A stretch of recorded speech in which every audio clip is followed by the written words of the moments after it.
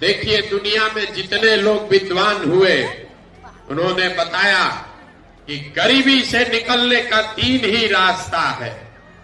पहला रास्ता है पढ़ाई। अगर आपका बाल बच्चा पढ़ लिख जाएगा, पढ़ लिख के नौकरी पा जाए तो आप गरीबी से निकल सकते हैं। दूसरा रास्ता है ज़मीन।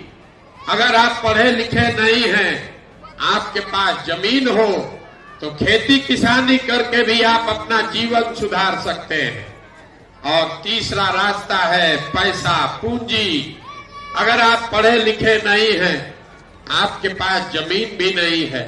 लेकिन अगर पैसा हो, पूंजी हो, कोई कर्ज भी दे दे तो कोई न कोई छोटा मोटा रोजी रोज़गार व्यापार दुकान करके आप अपना जीवन सुधार सकते हैं। यही तीन रास्ता है। नौकरी, खेती और व्यापार।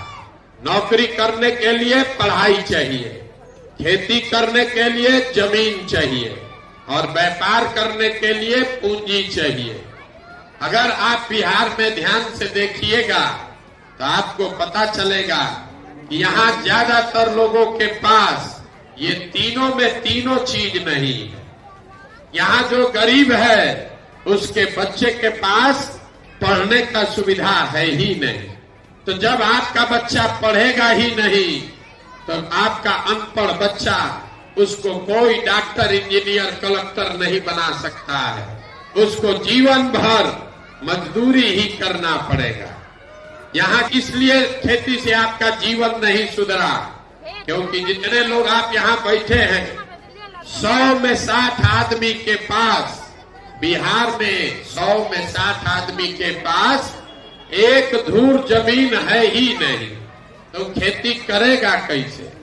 आज जो चालीस आदमी खेती कर रहा है, वो कमाने के लिए खेती नहीं करता है वो खाने के लिए खेती करता है। तो आपके पास पढ़ाई का साधन है नहीं, खेती से आमदनी है नहीं।